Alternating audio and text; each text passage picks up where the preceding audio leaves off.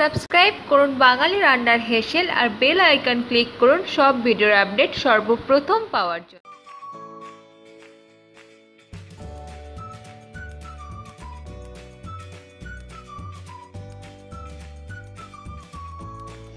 আজ আমি বানাচ্ছি আলুর খোসা ভাজা। তার জন্য আমি এখানে চারটে মিডিয়াম সাইজের আলু এইভাবে খোসা ছাড়িয়ে নিয়েছি।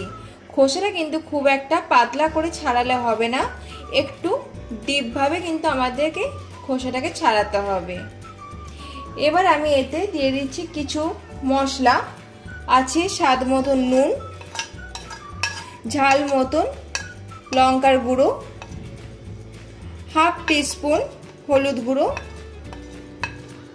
হাফ টিস্পুন পোস্ত, আর আছে চালের গুঁড়ো। চালের গুঁড়ো দিলাম টু টিস্পুন। আর দিয়ে দিচ্ছি এতে ওয়ান টিস্পুন মাস্টার্ড অয়েল।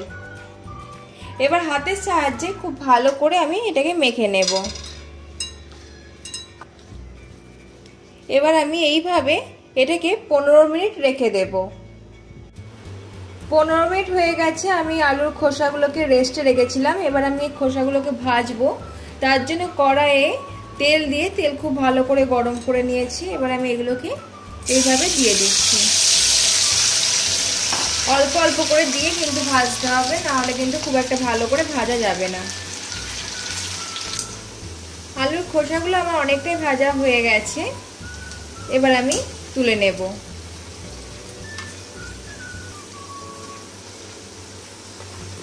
এইগুলো কিন্তু গরম ভাতে ডাল দিয়ে কিন্তু খুব ভালো লাগে এই আলুর খোসা ভাজা।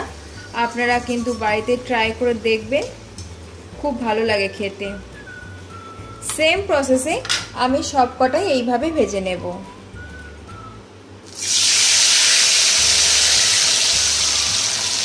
আমার সব কটাই ভাজা হয়ে গেছে, এবার আমি এগুলোকে তুলে নিচ্ছি।